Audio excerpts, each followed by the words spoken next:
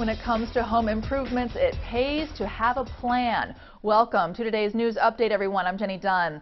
Make a master list of improvements you want or need to make to your home, whether they're a more immediate need or something that can wait several months or even years.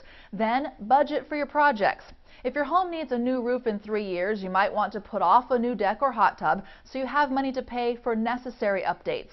Knowing you'll likely recoup at least two-thirds of the cost of most projects when you sell your home might add some flexibility to your budget. Keep in mind, though, that expensive improvements like an in-ground pool might increase your home's value so much compared to the neighborhood that it becomes difficult to sell. Finally, consider whether you will do your projects yourself or hire a professional. You might save save some money going it alone, but fixing mistakes can be expensive. Consider having a pro do most of the work and finishing it yourself. We hope this information is helpful to you. Thanks for watching. Look forward to seeing you next time.